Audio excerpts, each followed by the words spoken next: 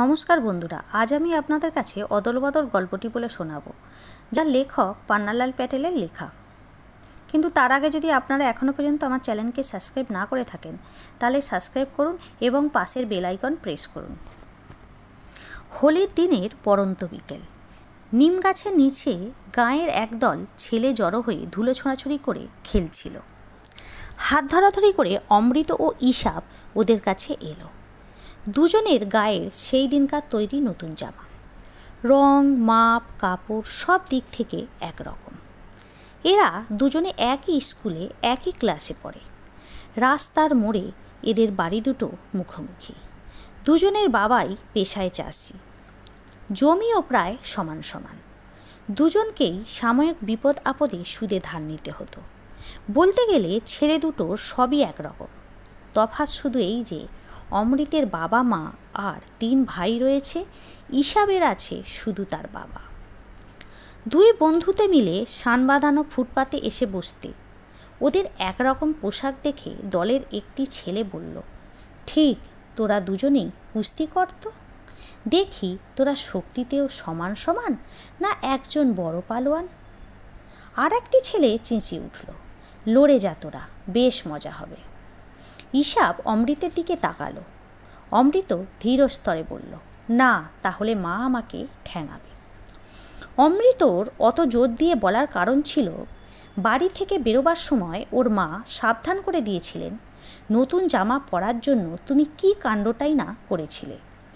এখন যদি তুমি জামা ময়লা করে বা ছিঁড়ে আসো, তাহলে তোমার কপালে কি আছে মনে রেখো? অমৃত সত্যি তার বাবা মাকে খুব জ্বালিয়েছিল। শোনা মাত্র অমৃত ফতোয়া জারি করে দিল। ঠিক ইসাবের মতো জামাটি না পেলে ও স্কুলে যাবে না। মা ওকে অনেক বুঝিয়েছিল। ইসাবকে খেতে কাজ করতে হয় বলে ওর জামা ছিঁড়ে গেছে। আর তোরটা তো প্রায় নতুন রয়েছে। মোটেই না বলে কাঁদতে কাঁদতে অমৃত ওর জামার একটা ছেঁড়া জায়গায় আঙুল ঢুকিয়ে আরও ছিঁড়ে দেয়। মা তখন ওকে বেকায়দায় ফেলার জন্য বললেন, নতুন জামা দেবার আগে ইসাবের বাবা ওকে খুব মেরেছিল। তুই সেরকম মার খেতে রাজি আছিস? অমৃত এতেও পিছপা হতে রাজি নয়।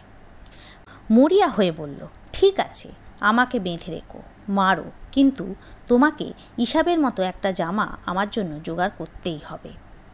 ইসাবের মা এসব ঝামেলা থেকে বাঁচবার জন্য বললেন, ঠিক আছে, তোর বাবাকে গিয়ে বলগে অমৃত জানতো, মা না বললে ওর বাবা রাজি হওয়ার সম্ভাবনা খুবই কম।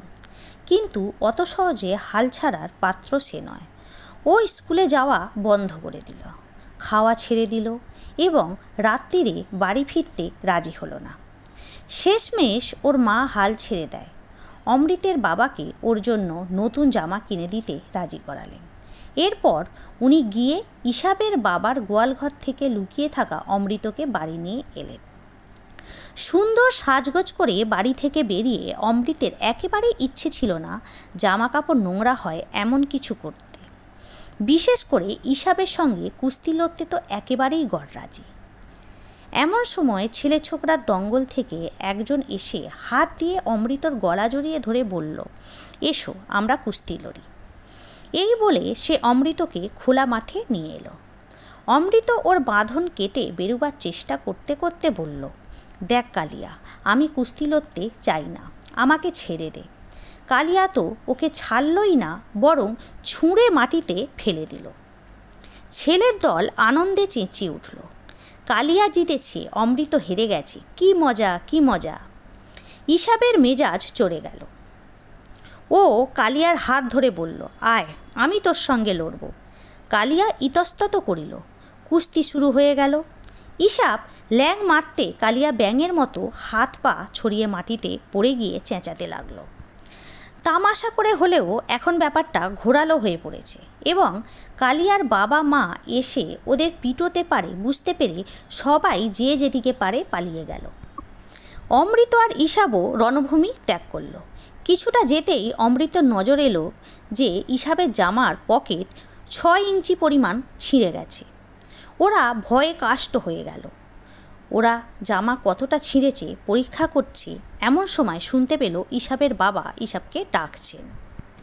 ওদের তখন বুকের ধুকপুকনি বন্ধ হবার জোগাড়। ওরা জানে ইসাবের বাবা ছেঁড়া সার দেখা মাত্র ওর চামড়া তুলে নেবে।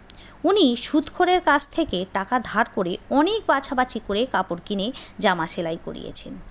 ইসাবের বাবা আবার চেঁচিয়ে উঠলেন, কে কাঁদছে? ইসাব কোথায়? হঠাৎ অমৃতের মাথায় একটা বুদ্ধি খেলে গেল। ও ইসাবকে টানতে টানতে বলল, আমার সঙ্গে আয়। ওদের দুই বাড়ির মাঝখানে ঢুকে অমৃত জামার বোতাম খুলতে লাগল। ও হুকুম দিল, তোর জামা খুলে আমারটা পরা। ঈশা বলল, তোর কি হবে? তুই কি পরবি অমৃত বলল, শিগগিরই কর, নয়তো কেউ দেখে ফেলবে। আমি তোরটা পরব ইসাব জামা খুলতে লাগল। যদিও অমৃত কি করতে চাইছে বুঝতে পারছিল না। বলল, জামা অদল বদল? কিন্তু তাতে সুবিধাটা কি হবে? তোকে তো তোর বাবা পিটবে। অমৃত বলল, নিশ্চয়ই ঠ্যাঙাবে, কিন্তু আমাকে বাঁচানোর জন্য তো আমার মা আছে। ইসাবের মনে পড়ল ও দেখেছে যে অমৃতর বাবা যখন মারতে গেছেন, অমৃত ওর মায়ের পিছনে লুকিয়েছে। মার হাতে অবশ্য ওকে দুটো থাপ্পড় খেতে হয়েছে, কিন্তু বাবার ভারী হাতের মারের কাছে ও কিছুই নয়। ইসাব তবু ইতস্তত করছে। এমন সময় সে খুব কাছে কাউকে কাশতে শুনল। তক্ষুনি ওরা ঝটপট জামা অদল বদল করে। গলি থেকে বেরিয়ে ধীরে সুস্থে নিঃশব্দে যে যার বাড়ির দিকে চলল। ভয়ে অমৃতর বুক ঢিপ ঢিপ করছিল, কিন্তু ওর কপালে ভালো দিনটা ছিল হোলির। সে সময় সবাই জানে কিছুটা ধস্তাধস্তি টানা হ্যাচড়া চলে। মা যখন দেখলেন জামাটা ছিঁড়েছে, উনি ভুরু কুঁচকলেন, কিন্তু মাপ করে দিলেন। একটা ছুঁসুতো নিয়ে ছেঁড়া জামাটা রিপু করে দিলেন। এতে দুজনেরই ভয় কেটে গেল। ওরা আবার হাত ধরাধরি করে গ্রামের ধারে হোলির সময়কার বাজি আর বুড়ির বাড়ি পোড়ানো দেখতে গেল। একটা ছেলে ওদের জামা বদলানো দেখেছিল। সে ওদের আনন্দ মাটি করার জন্য বলল, তোরা অদল বদল করেছিস না? সে তাদের জামা অদল বদল করা দেখে ফেলেছে। এই আশঙ্কা করে তারা চলে যেতে চাইল। কিন্তু ইতিমধ্যে অন্য ছেলেরাও কি ঘটেছে জেনে চেঁচাতে লাগল। অদল বদল অদল বদল অমৃত আর ইসাব সরে পড়তে চাইল, কিন্তু ছেলের দল তাদের পিছনে পিছনে অদল বদল অদল বদল বলে চেঁচাতে লাগল। বাবারা তাদের ব্যাপারটা জেনে ফেলবে মনে করে তারা ভয়ে বাড়ির দিকে ছুটে পালাতে লাগল। ইসাবের বাবা বাড়ির সামনে দাওয়ায় খাটিয়ায় বসে হুঁকো খাচ্ছিল। তিনি ওদের ডাকলেন, তোমরা বন্ধুদের কাছ থেকে পালিয়ে আসছো কেন? আমার কাছে এসে বসো। ওর শান্ত গলা শুনে ওদের চিন্তা হলো, ভাবলো, যা ভেবেছিলাম তাই হলো। উনি আসল ঘটনাটা জানেন, শুধু ভালোবাসার ভান করছেন। ইসাবের বাবা পাঠান উনি দশ বছরের অমৃতকে জড়িয়ে ধরলেন, চেঁচিয়ে বললেন, বাহালি বৌদি, আজ থেকে আপনার ছেলে আমার।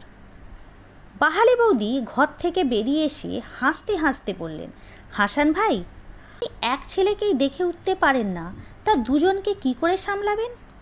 আবেগ ভরা গলায় হাসান বললেন, বাহালি বৌদি, অমৃতের মতো ছেলে পেলে আমি একুশ জনকেও পালন করতে রাজি আছি।